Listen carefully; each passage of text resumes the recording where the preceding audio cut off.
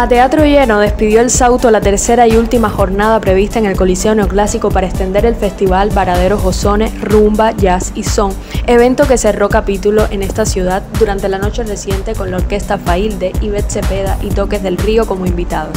El festival se celebra en medio del aniversario 160 del Teatro Sauto y en saludo al 330 de la ciudad de Matanzas. El público estuvo a la altura del propio festival, del lujo de las agrupaciones, un programa hecho con todos los detalles que funcionó muy bien dentro del teatro. El evento continuará su programa en el conocido Parque Josone de la península de Icacos hasta el día 27.